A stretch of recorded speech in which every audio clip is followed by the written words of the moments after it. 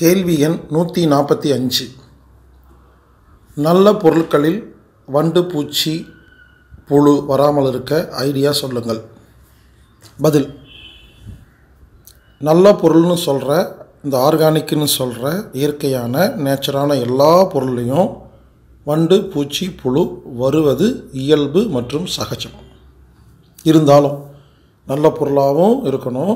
அதே சமயத்தில் வண்டு புழு பூச்சியெல்லாம் வரக்கூடாதுன்னா அதுக்கு ஐடியா இருக்குது இந்த குளியல் பொடி சத்து மாவு இந்த மாதிரி தான் இப்போ நம்ம நூறு பொருட்கள் எப்படி செய்கிறதுன்னு யூடியூப்பில் போட்டிருக்கோம் இல்லையா? இந்த மாதிரி இயற்கையான பாரம்பரிய ஆர்கானிக் பொருளாக தயாரிக்கணும்னா அதற்கான மூலப்பொருளை நீங்கள் என்ன செய்யணும்? விவசாயிட்டிருந்து நேரடியாக வாங்கணும். அப்படி முடியலன்னா கடையில் போய் வாங்கும் பொழுது கடைக்கு புதுசாக வந்த பொருள் வாங்கினீங்கன்னா அது வண்டவருக்கு ரொம்ப நாள் ஆகும். அப்போ அந்த பொருள் நமக்கு வண்டு வராத பொருளாக இருக்கும். இப்போது கடையில் போய் நம்ம ஒரு பொருள் வாங்குறோம் இல்லையா? அங்கே விவசாயிட்டிருந்து அந்த அந்த கடைக்காரர் பொருள் வாங்கி வச்சு ரொம்ப மாதமானா ரொம்ப வருஷமானால் நீங்கள் வாங்கும் பொழுது புழு வர நேரத்தில் தான் வாங்குறீங்க. வண்டு வர வேண்டிய நேரத்தில் வாங்குறதுனால தான் அது வருது.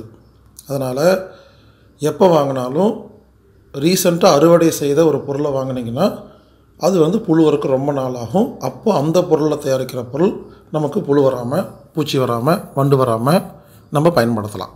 இது ஒரு ஐடியா அதனால் நீங்கள் என்ன பண்ணுங்கள் இந்த தை மாசி பங்குனி இந்த மாதிரி நேரம்தான் புது பொருளெல்லாம் வர நேரம்.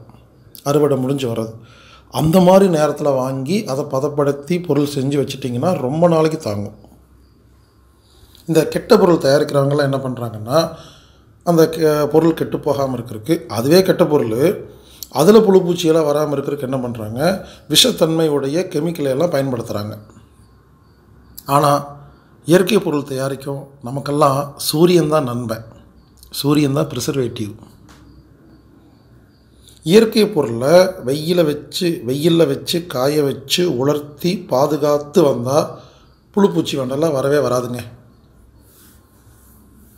இந்த இயற்கை பொருள்களை சேகரித்து வைக்கும்போது எப்படி வைக்கணும்? எவர் சில்வரை டப்பாவில் வைக்கணும். இல்லைன்னா கண்ணாடி டப்பாவில் வைங்க. அது கெமிக்கல் ரியாக்ஷன் ஆகாது. இந்த சேகரிக்கிற டப்பா இருக்கு இல்லையா? அதை சுத்தமாக ஒரு சொட்டு தண்ணி இல்லாமல் ஈரமே இல்லாமல் உலர்த்தி தொடச்சி அதில் பொருளை போட்டிங்கன்னா அதில் புழு பூச்சியெல்லாம் வராது. டப்பாவோட அடியில் அடியில் என்ன? வெளிப்பக்கம் இல்லை உள்பக்கம். டப்பாக்கு அடியில் ஒரு அஞ்சு கிராம்பையோ இல்லை வசம்பையோ போட்டுட்டு அதுக்கு மேலே இயற்கையான பொருளை ஃபில் பண்ணுங்கள் கடைசியாக மேலே அந்த பொருளை போட்டதுக்கப்புறமா அதுக்கு மேலே மறுபடியும் அஞ்சு வசம்பையோ அஞ்சு கிராம்பையோ போட்டுட்டு காற்று போகாமல் நல்லா மூடி வச்சுருங்க. புழுப்பூச்சி வண்டே வராது. மூடியும் சுத்தமாக தண்ணி இல்லாமல் தொடச்சி வைக்கணும். இயற்கை பொருள்களில் ஒரு மாதத்துக்கு ஒரு முறை எடுத்து வெயிலில் நல்லா காய வச்சு உலர்த்தி மறுபடியும் டப்பாவில் போட்டு வைக்கணும். இதே மாதிரி கிராம்பை போட்டு. இப்படி பாதுகாத்தா நல்ல பொருளாகிய இயற்கை பொருளாகிய ஆர்கானிக் பொருட்கள் பல காலம் புழுப்பூச்சி வண்டாராமல் நம்ம சேகரிக்கலாங்க. இந்த விஷயத்தை எனக்கு கற்றுக் கொடுத்த கோவை பிரியதர்ஷினி அவர்களுக்கு நன்றி. அவரது number nine eight four three five four eight four three five. இப்படிக்கு healer Bhaskar.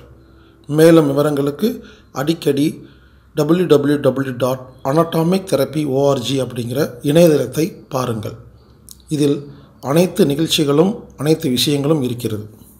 A N A T O M I C T H E R A P Y dot O R G வாழ்க வளமுடன்.